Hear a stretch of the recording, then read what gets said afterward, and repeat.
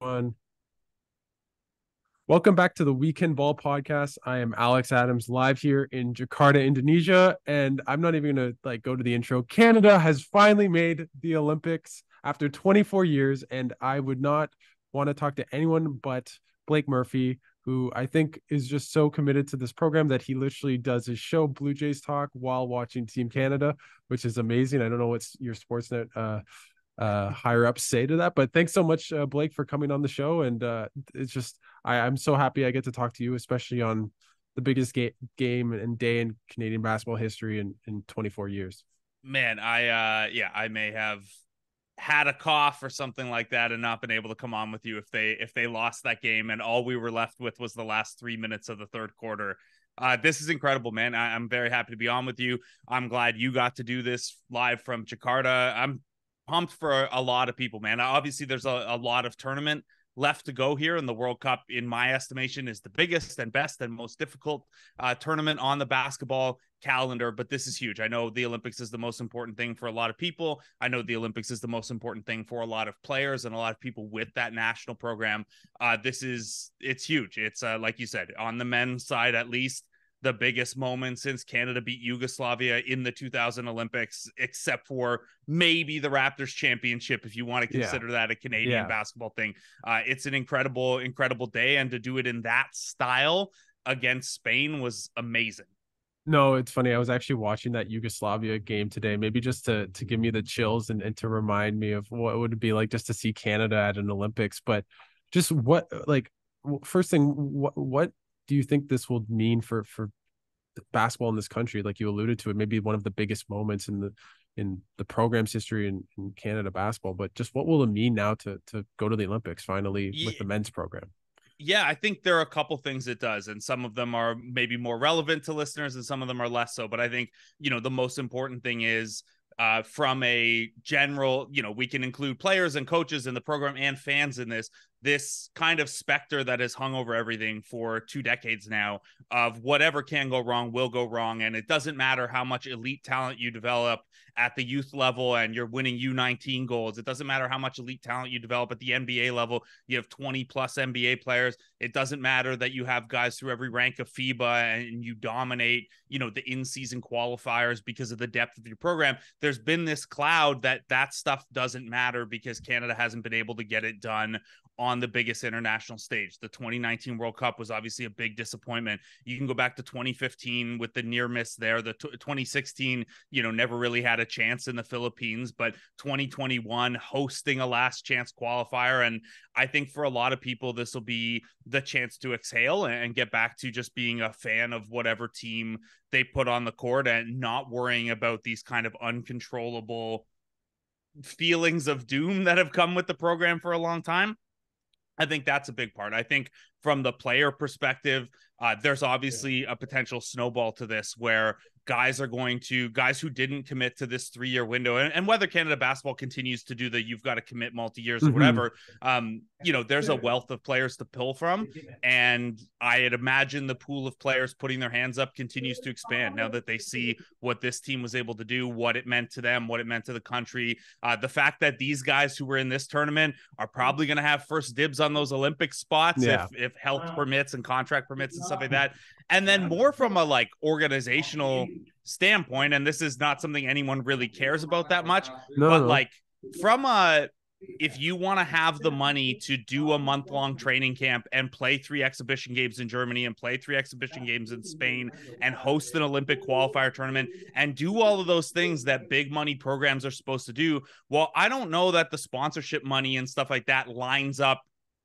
cycle after cycle after cycle if they keep disappointing. I That's... really do wonder if had they not pulled this off and 2020 what do we know 2027 we're doing this all again uh, of get in now and, and, you know help fund this team and you're first in line for the olympics I, I do wonder if there's like a real business impact of it as well where this can kind of now you know, p- snowball positively. Where look, look at the reaction to this. Look at the, the reaction on social media and the ratings and stuff like that for games first thing in the morning for the chance to qualify for the Olympics and what the appetite is going to be like um, for an Olympic tournament where the times are more reasonable. And, you know, again, it's the Olympics. People in mm-hmm. North America care about it more. Like I, would imagine there's a, a, snowball effect on the the kind of corporate side as well, which can put Canada basketball in a position of strength to, you know, keep doing the things that a, a top program is supposed to do.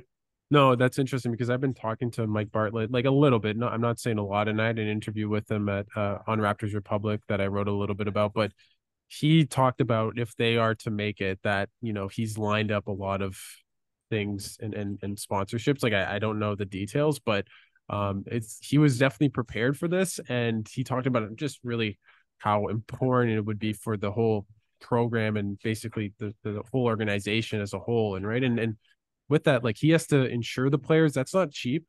Like how oh, how, how how especially how with NBA contracts going where hmm. they're going, like like I know J- Jamal's a health thing, but like once he becomes extension eligible and things like that, and um, you know, every we know every player when they hit free agency. Like this is another thing about avoiding the Olympic qualifying tournament too is that's July second to seventh. That's during the free agent moratorium where anyone who is a potential free agent ain't showing up for that one. That's yeah. They, you're talking millions and millions in insurance there. Yeah, no, no, exactly. And uh, I mean, I was just thinking about SGA, right? What what's his contract? I know you always know it off the, but it was what 150 million, give or take. Like, yeah, for five it's, years. It's a lot of cake. It's, it's a lot uh, of cake. I forget the exact number, but but yeah. So that it's just, uh, but let, let's get back because I think fans want to just talk about the game and. Mm-hmm.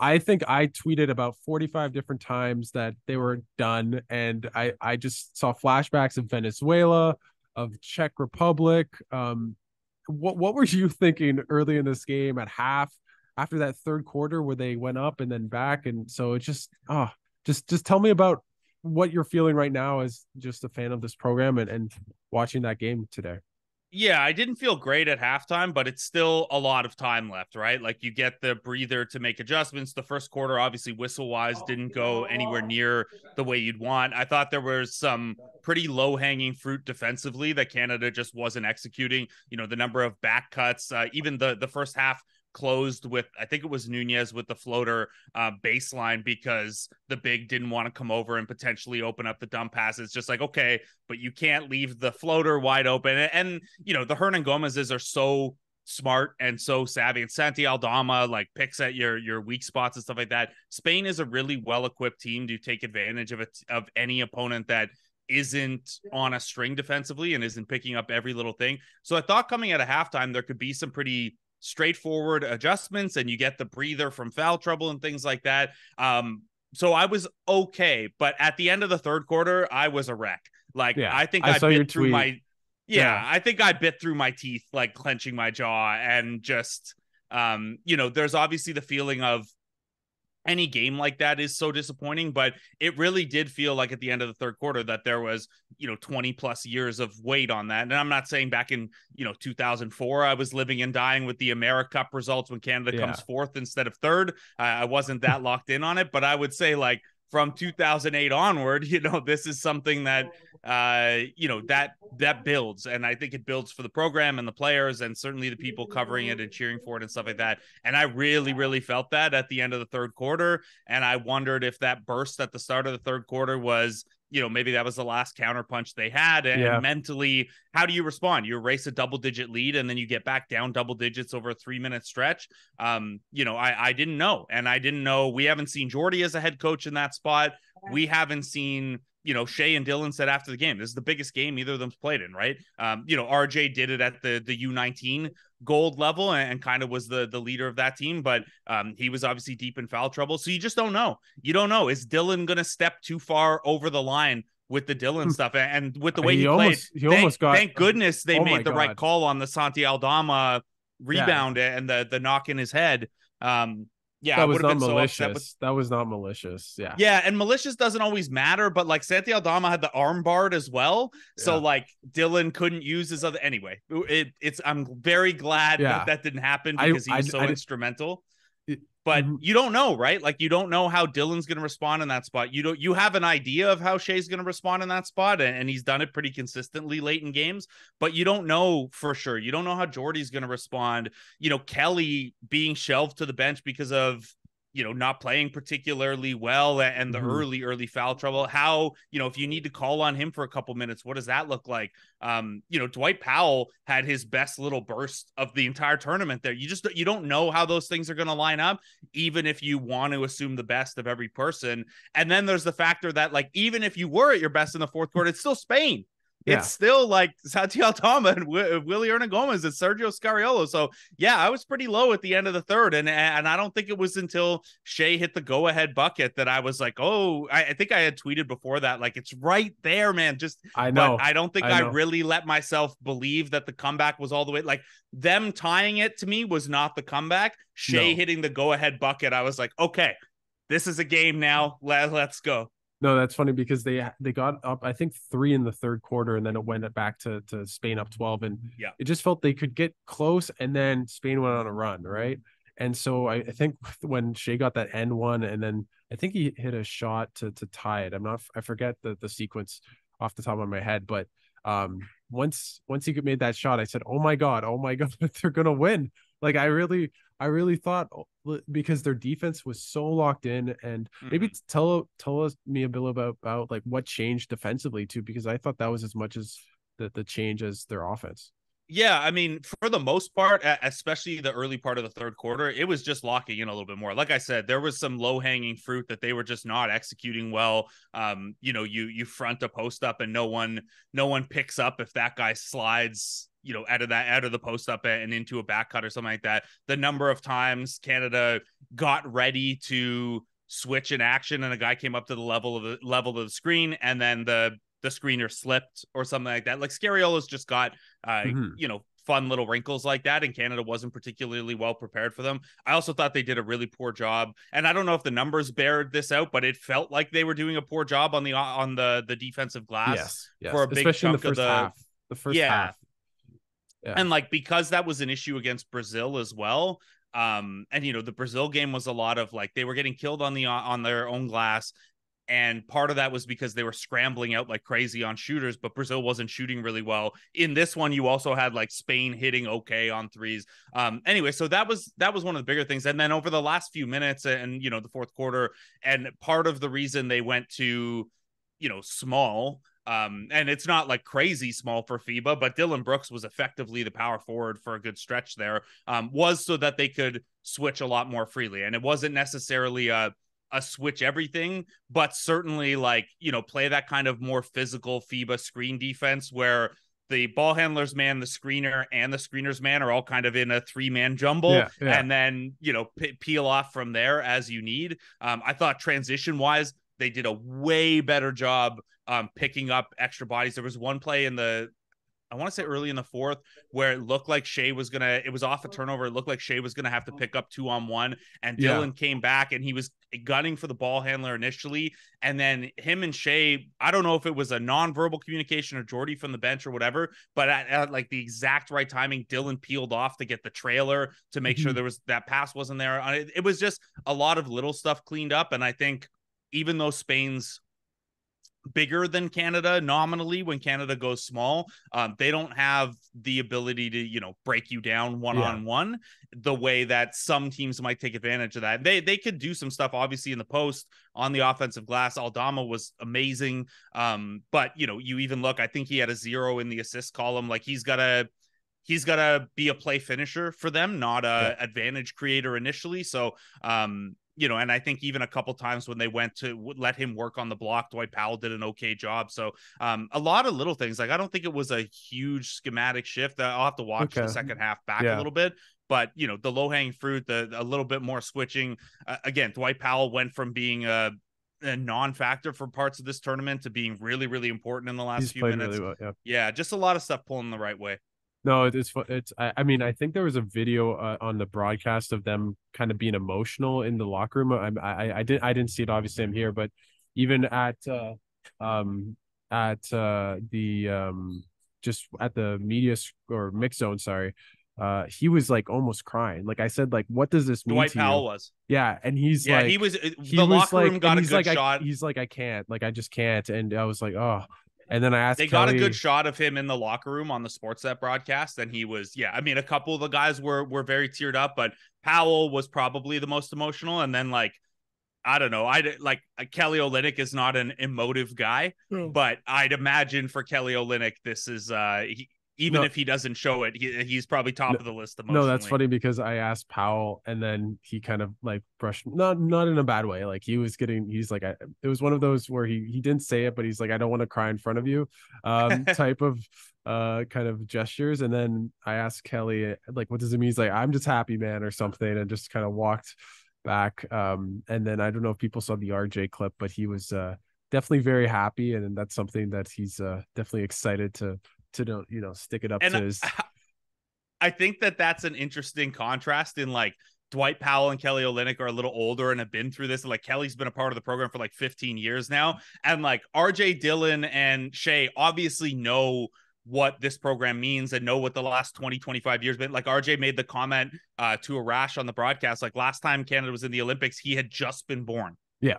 Yeah. Like that's, but at the same time, like these guys haven't gone through it as many times. So like I found the contrast pretty interesting between like Olynyk Powell and Ejim, who were like fine, like a more of a finally energy, Yeah. and then like the young crew that's like, yeah, we made the Olympics. Like, let's go. like, Like, yeah, yeah. it's yeah. cool, first time in a long time, but like.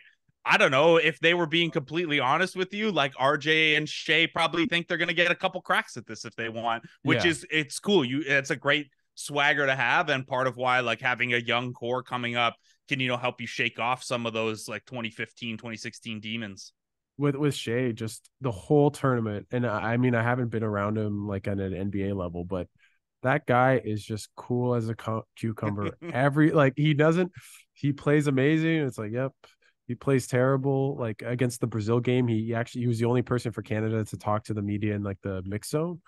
And he was like, it, it almost looked like he was like, "Oh, I'm going out for a walk in the park." Like it, it was he, not, not emotional or anything. So he's probably busy crafting what the instagram caption is going Um, Oh to be my like God. the, the His- witty or rhyming instagram caption Yeah, I know. I, I'm excited to see the next one uh, that uh, he puts out with a Ca- Canadian basketball jersey or something, or maybe something with his mom. Obviously, made the the Olympics Yeah. as well. Um, but uh, no, that that's that's another podcast maybe. Um, but uh, just what happened in that fourth? Like, talk about Shai and, and Dillon Brooks. Like, just like, oh my god! And Dillon Brooks had a couple threes where you're like, no, no, yes.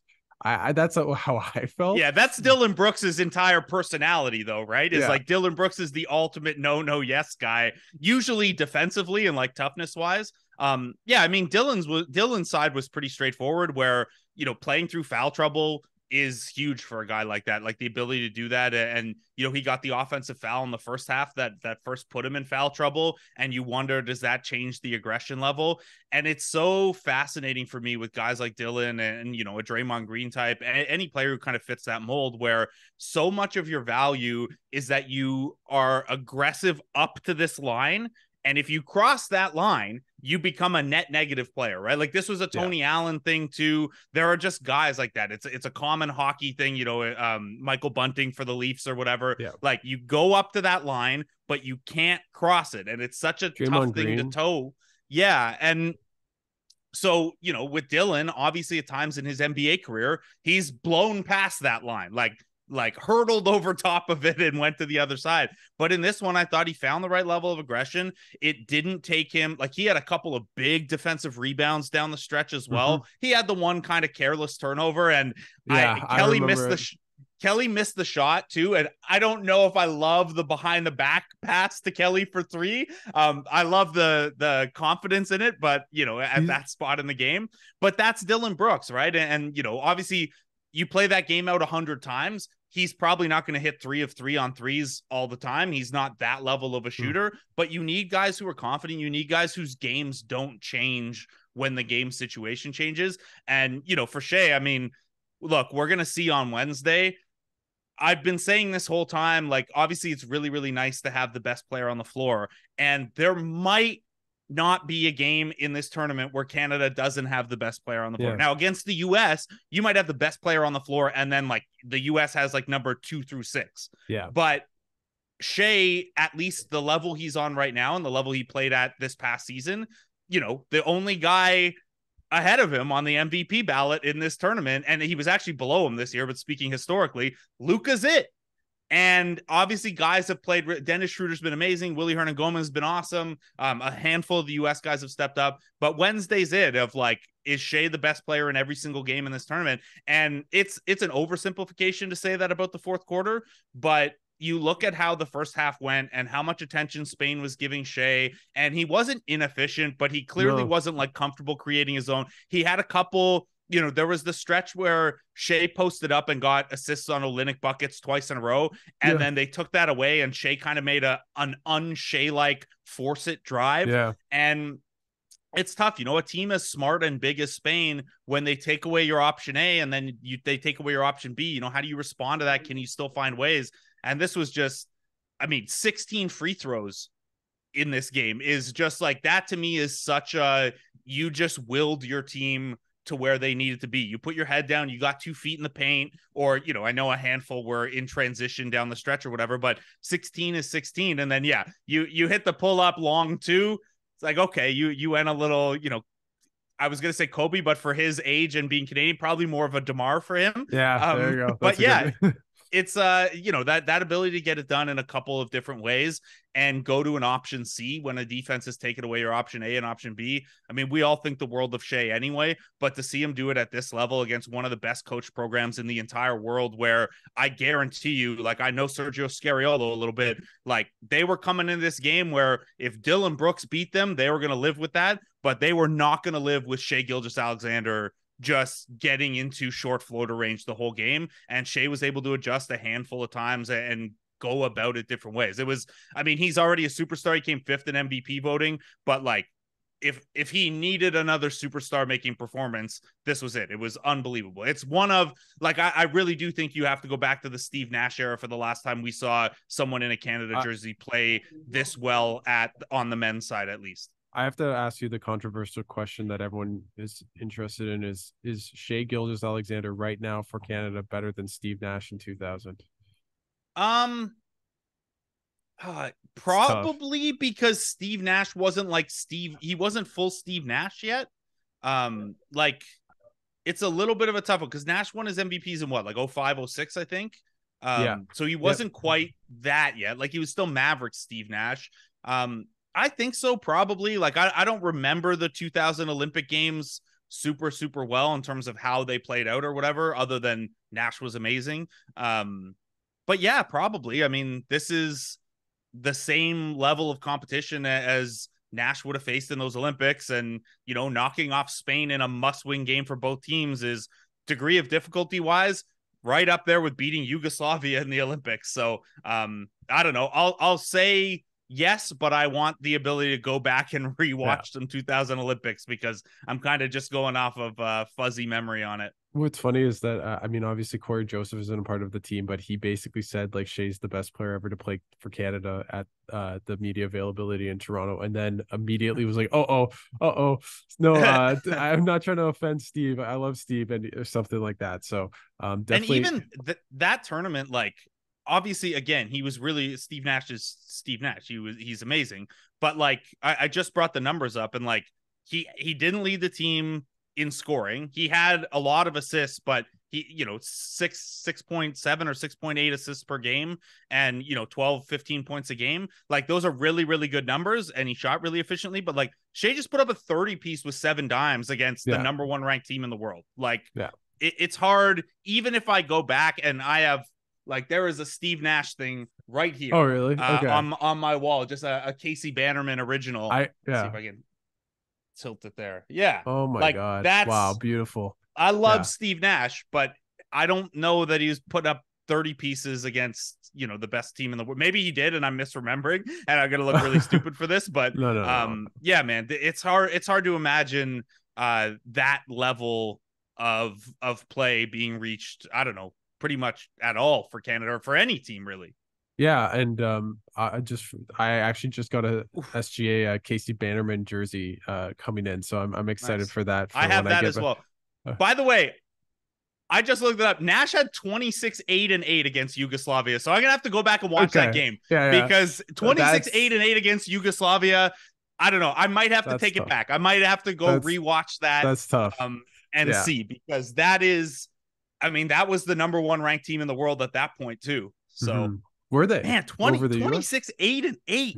Oh my god, man! I, I I know this is like a different podcast, but if he played in this era right now, oh my god, just with the shooting, S- like- Steve Nash in this because like if you look at Steve Nash's career and you like the most fascinating thing if you fire up his basketball reference page or whatever um and you can get this uh, like a tiny degree with Jose Calderon but like a monster degree with Steve Nash you look at all these percentages and then you see how few field goal attempts he took Yeah. and it's like dude you were shooting 45% 47% on threes and only taking four a game and no one would have blinked if you ever took it yourself. And obviously that was Nash and Phoenix's style of play and stuff like that. But Nash in today's game would be have like free reign to take like 12 threes a game. I feel like he'd be a mix of like I, I can't maybe like obviously Steph just with the shooting. I mean, I'm not saying he's the same shooter, but just that level of of, of shooter and maybe a bit of Trae Youngy. Like I don't know, he'd be a really I don't. Anyways, but let's let's get back to to the team. Um,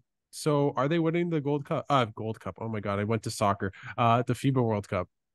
Uh, you know, obviously I, I'm gonna I'm going to side with no just because the odds are long of, of knocking off three teams in a row here. And we saw against Brazil that like you can only have one bad half really. Um, and that's it. And I think look, if they I think they'll beat Slovenia. Lithuania's size inside would probably give them a lot of trouble. They're going to have to get creative defensively with how they Mhm. handle double teams and fronting the post. And, you know, you got to play with a lot of speed uh, if you're going to make up for, you know, the JV size disadvantage. It's actually a big part of why the U.S. was awful against it today. They just, you know, they treated it kind of like the way NBA teams treat post ups, and and with the smaller FIBA space, you can get more creative than that. Um, I thought Serbia looked awesome today against the Dominican Republic, but I'd hope Jordi Fernandez has a better uh, game than the Dominican had in that one, where they just really couldn't. You know, in part because of personnel, they just couldn't adjust their defensive scheme. Serbia just kind of ran stack pick and roll down their throat. Mhm. Um, I would like Canada's chances against either of those teams, but we're talking like at that level of play at that point in the tournament, you're talking like 55 45 maybe, right? And if you want to say 60 40 Slovenia and then 50 50 if they get to the US or Germany in the finals, um, you know, we've seen this Germany team twice as, I really as like Canada. And yeah, they're I- really good. They're really really They're good. really and and I think that they could give the US fits in the semis. Like I don't think it's a lock that well, the you know US, the U.S. losing to Lithuania actually helped them because they get Italy, um, Yeah. who I think is the weakest of the final eight teams.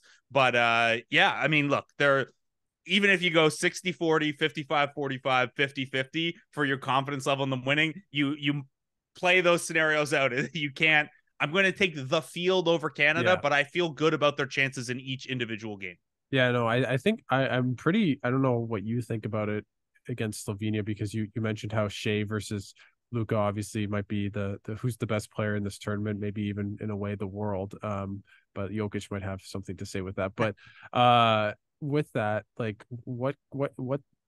I'm I feel pretty confident against Slovenia just because the way they looked against Germany and just Luka kind of tailed off and and it's maybe not as strong a Slovenia team that almost won a medal in uh, Tokyo.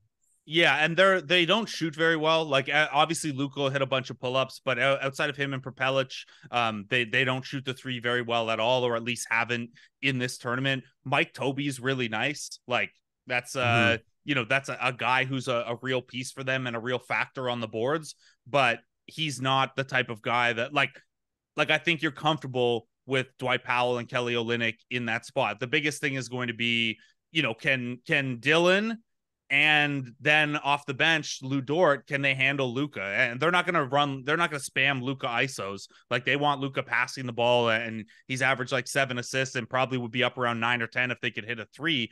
But Mhm. yeah, Canada's going to task those guys with living in his jersey and you know staying like they had to do today in the second half, staying on the right side of foul trouble. So I mean, I don't want to oversimplify and says say it just comes down to Doncic, but it's you know unless Prepelic uh, get, gets and stays hot from three, you know, almost all of their offense is going to run through Luka. So that's that's where the game is for me. Luka looked.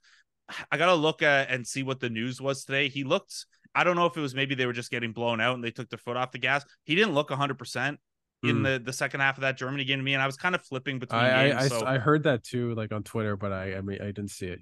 Yeah, I was flipping between games at that point, um, so I, I probably didn't get the the best of look at it. I, I got to go back and, and watch a little bit more of it. But yeah, he looked like maybe he wasn't a hundred, uh, a hundred percent. I don't know. It's yeah, uh, either way, Luka at like eighty percent, and he's got two days off here to rest. He's going to be just fine, and yeah. he's going to be a big problem. Um, you know, I, I guess with Slovenia too, the thing you're looking at is like, you know, they're not they're not rolling a bunch of seven footers at you. Like Mike mm-hmm. Tobey is seven feet tall, but he's not like a traditional rim protecting seven footer. They do have though like size everywhere, like in yeah. the same way that Spain did. I think they only play one guy, and I like I think Prepelic is the only guy in the rotation who's under six five, mm-hmm. and he's yeah. like a six four pseudo point guard. So I think uh you know that could be a, an interesting challenge for Canada too. And and with that, let's let's go to the Olympics because obviously, like, what do you expect from this team at an Olympics? Do you think guys like like what I've heard is a little bit is that I bet Wiggins will ask to go. I bet Murray is probably a bit more up to it. Um, just would that be a good thing as well to maybe upset the apple card eh, or just go best talent available and and yeah. Just... Look, I think you have to be careful here because you did ask for the commitment and these guys did step up. I think Jamal, no question. If Jamal wants yeah. back in, you know, given the knee thing, given the championship run, like I don't know, short of Denver winning another championship, which isn't off the table given no. the way the, the NBA looks this year. Um, you know, I think Jamal gets back. At Wiggins is the toughest one. Like, obviously, you expand the pool of guys if you're headed toward training camp and a couple guys are free agents or a couple guys are banged up or whatever. Um, and it's worth noting too that um, you know, the the Olympic tournament is much earlier than the World Cup. So mm-hmm. if you are talking about the way a guy's offseason is structured, I think it's easier for an NBA player to commit to the Olympics. First mm. of all, it's only two weeks. It's not as far across the world. The ramp up won't be a month, I don't think. I think it'll just be a couple weeks of camp and a couple tune up games. Uh, I don't think you're asking these guys for nearly as much as the World Cup requires of you, especially a World Cup in Indonesia. So I think you'll have more hands up. But I think, yeah, if you are if you are on this team right now, um, and with the exception probably of Scrubb, who is on this team. I mean, I love him, but like he's on this team because Jamal and Cash just pulled out, and yeah. you have to understand that. Um, he's getting a little older too, and, and then you know, Trae Bell-Holter probably same thing, right? Like you you have to balance putting the best team possible on the court. But yeah, if like Wiggins and Chris Boucher and Andrew Nembhard all show up, are you booting every single like are you booting a handful of guys off this team? I don't think so. Like I think no. especially the eight or nine guys that have been in your rotation, barring injury, yeah. they have the the inside track on on those spots. And I think the other thing to keep in mind too is like obviously I we all want them to do super well at this World Cup. They're in the quarterfinals, things like that. The Olympics, there's less room for error because it's a smaller and shorter tournament. It's not as good a tournament. Yeah. So like you're if you're looking at the chances uh for guys to do well and you're trying to sell them on hey come out and like really do something special tournament's only 15 days long and you're playing I think max 9 games and you know you're you're going to play a couple of teams that aren't I mean that good. Yeah, that's probably an overstatement like France will probably bounce back a little bit. Japan's yeah. not that great, even though they're a fun story. South Sudan, we'll see because a lot of their how they built it. You know, we we got to look at Canadians. You know who, yeah, and like stuff through the naturalization process and stuff. And I realize it's complicated because South Sudan is such a, a, a young country overall. Like they've only been a FIBA member for a decade, so um, you know, but I I think like even Australia gets an auto berth because they finish better than New Zealand. We all know Australia is a very good basketball country, but like are you coming into the the way the Olympics better? look right now? Are, are you worried about France and Australia? No, you're coming in thinking you're better than those teams, and those are teams you should beat, even if they're difficult games. So, um, I don't know. I'd be I'd be pretty optimistic about guys showing up because after this World Cup, given the format and things like that, I think you can sell those guys on let's do something special here.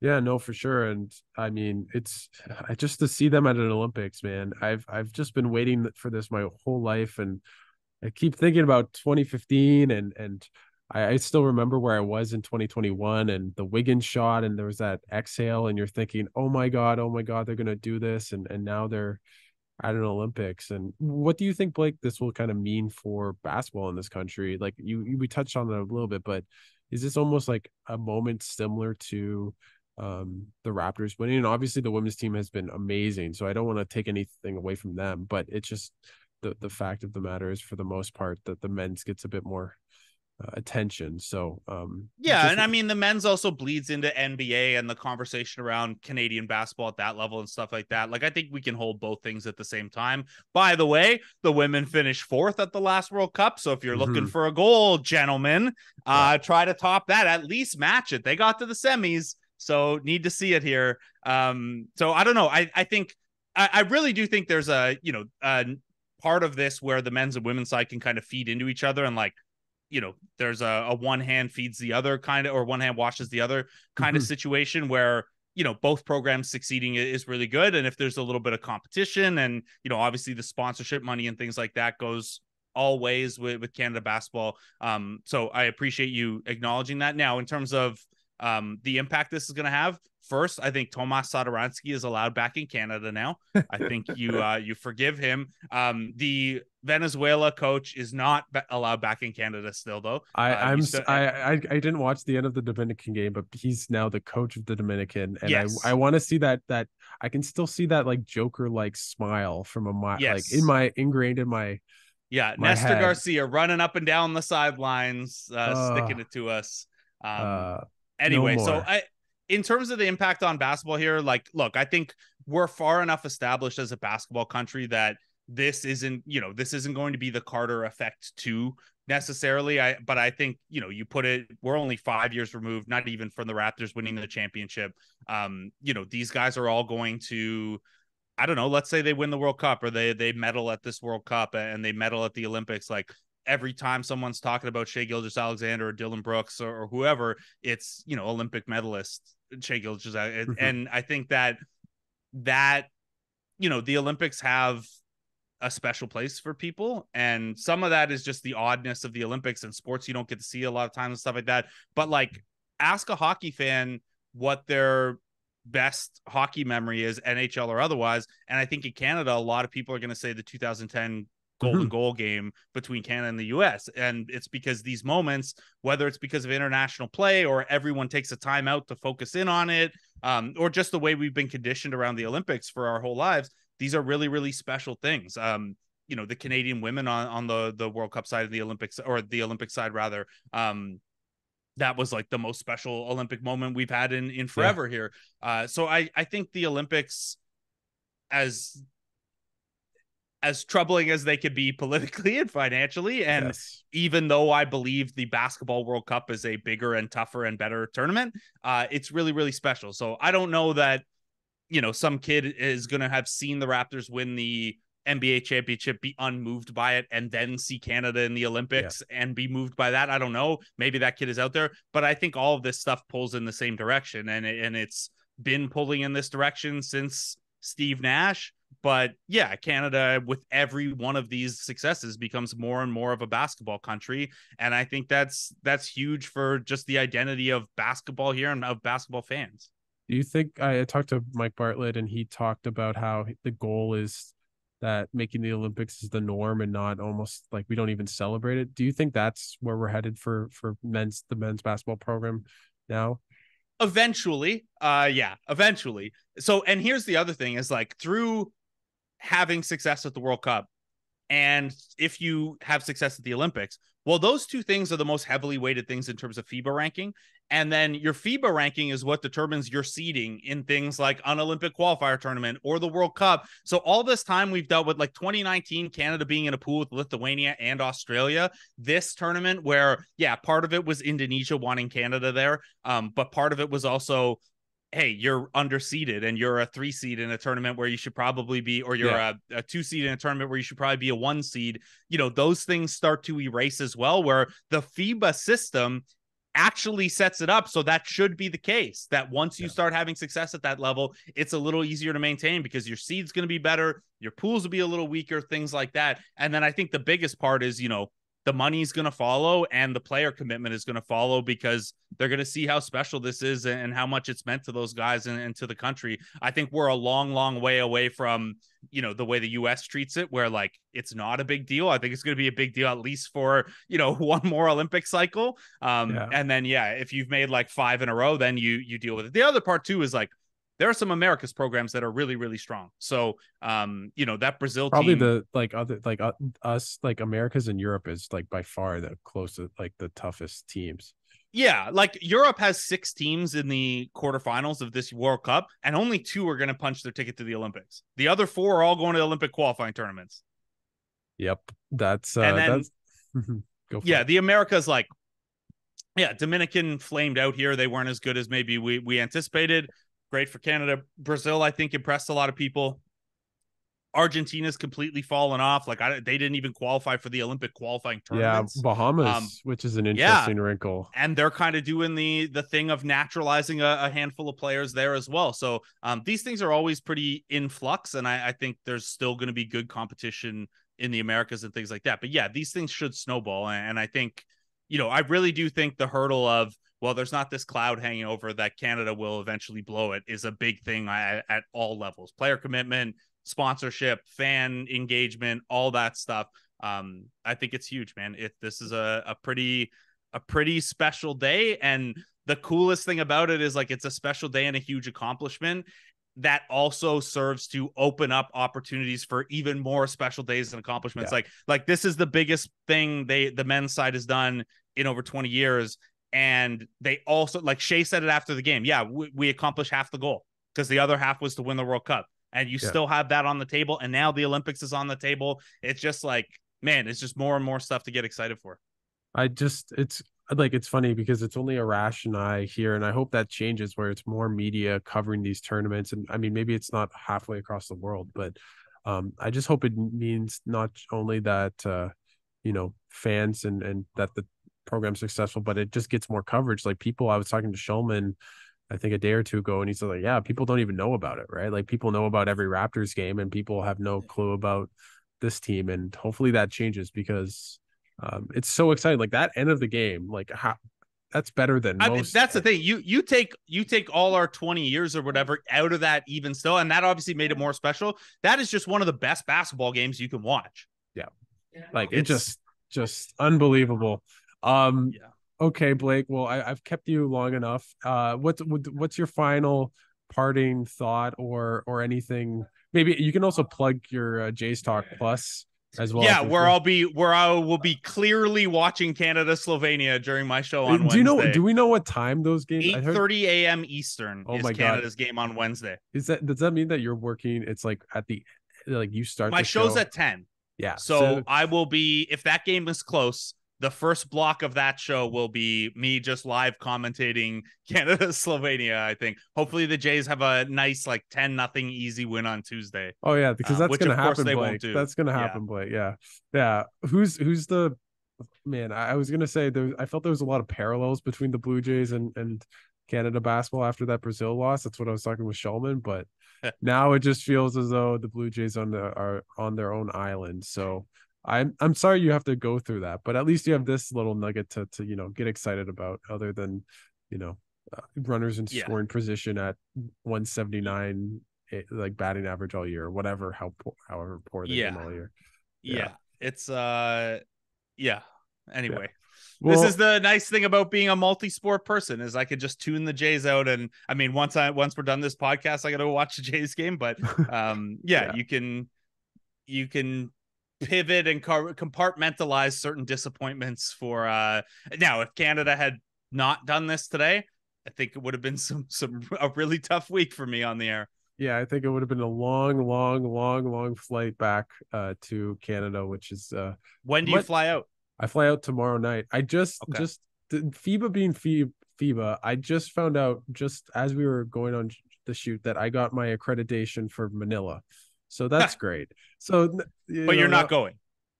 I I now have to think about it, but I don't think it's a it's expensive to f- cancel flights this last minute a day. I, I'd imagine it's expensive to fly to Manila for an extra week or or what do we? Yeah, we're a week out from the final still. So yeah so I, I don't think so i wish i could if fiba was kinder and would have gave me a bit more of heads up then maybe i Yeah. would have done otherwise but um blake thanks so much for doing this um uh i hope we can you know or i'll we'll at least see you um on twitter and everything uh celebrating as canada goes deeper in this tournament uh hopefully Buddy, you see me on television celebrating as they that- go those are my further on. Wednesday. You- I- yeah that just seeing that and then i saw people complain but it's also like a half I don't know if anyone really complained or just they were like, "Hey, you know, we could see you, right?" yeah just like uh yeah. Anyways.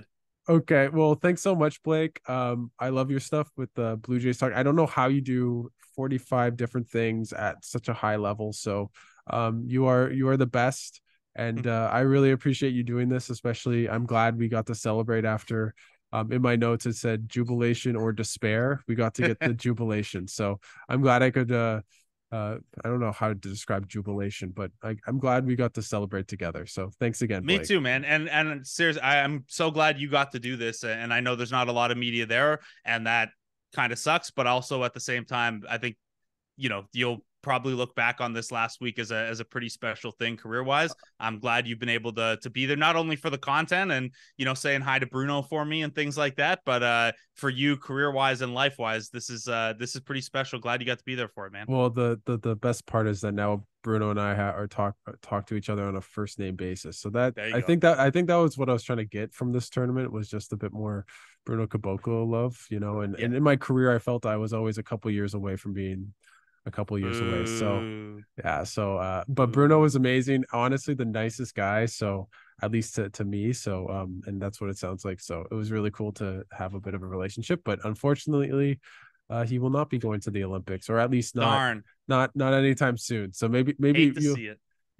But uh thanks again, Blake. You are the absolute best. Everyone should check out your stuff at uh Sportsnet. I don't know how you do Blue Jays, Canada basketball. I know you've done hockey too, like everything. So um I really appreciate it. And uh now we need to get you onto like cricket or something or rugby. We need to keep yeah, adding to your Vivek portfolio. has tried with I know. I've written I've written about rugby before. Oh Uh, my when God. Toronto Wolfpack was first the thing, I, I went down and did a couple feature stories on that. I've done, you know, the pro wrestling stuff. Oh, that's Uh, true. That you are a big pro wrestler. Who's yeah. who's the Dillon Brooks equivalent in like? WWE? Oh, I mean, the the thing is, is that like every bad guy is trying to be Dillon Brooks. Is the Ah. thing. There's not there's not really an equivalent because that's the whole. If you're a bad guy, that's that's what you're supposed to be. Like Dillon Brooks is being them, um, and they wish they had the heat that Dillon Brooks had. Yeah, exactly. Exactly. Um thanks again, Blake. I I really appreciate this and uh let's let's let's try to get a gold. Let's let's do that. That that'd be nice. I think that's a, yeah, like Shai one. said, halfway accomplished goals. Yeah. It's yeah. uh, you know, win the whole thing now. It'd be Oh it'd my be God. pretty pretty crazy, man. Pretty special. Oh my god. Oh my god. I think I'm just gonna end on oh my god, they're freaking I I I don't I, I think I can swear, but I'm not gonna swear, but they're effing going to the Olympics, and that is one hell of a way to to end off um Jakarta. And uh, I'll be uh continuing to to podcast throughout the rest of the tournament because they have three more games left. So um at the very least. So uh stay tuned and uh check out Blake at J- uh Jays Talk Plus um on Sportsnet every day, every weekday, 10 to 12. Is that it? Yep, I got it right. Yep. Okay, perfect. Great. I got the plug right. Thanks again, Blake. I really appreciate it. See you, man.